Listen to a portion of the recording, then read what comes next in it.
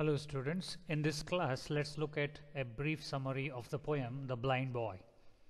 The poem The Blind Boy is written by Colley Cibber, an American poet.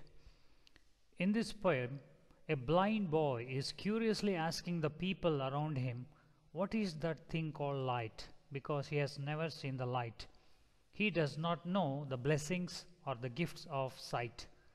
He wonders when people talk about wondrous things they see around them and how the sun shines bright. The blind boy feels only the warmth of the sun but cannot see the sun. But the blind boy is happy. He happily tells them that he makes his own day and night. Whenever he sleeps, it is night for him. Whenever he plays, it is day for him. The people feel sad about the blind boy because he is a poor blind boy. They feel pity for him. But the blind boy does not feel sad for not having eyesight.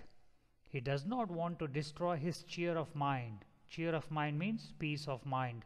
He does not want to destroy his peace of mind. He says he feels like a king and he is happy. But he is only a poor blind boy to other people.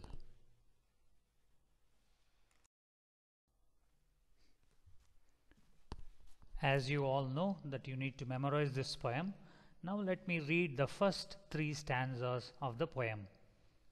Oh say, what is that thing called light, which I must never enjoy? What are the blessings of the sight, oh tell your poor blind boy? You talk of wondrous things you see, you say the sun shines bright. I feel him warm, but how can he, or make it day or night? My day or night myself I make whenever I sleep or play, and could I ever keep awake with me it were always day?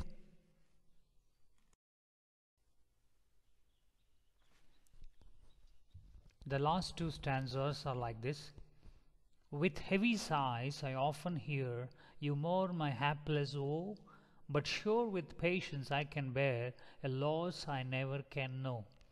Then let not what I cannot have my cheer of mind destroy, whilst thus I sing I am a king, although a poor blind boy. The last stanza of this poem has a message for all of us. The blind boy is telling us that he does not want to worry about the things that he cannot have. So children, you all know that we cannot have everything. So why should we destroy our peace of mind? So then let not what I cannot have my cheer of mind destroy. And he is saying, I am a king, you know, whilst thus I sing happily, I am a king, although I am only a poor blind boy to you. So I hope all of you will memorize this poem.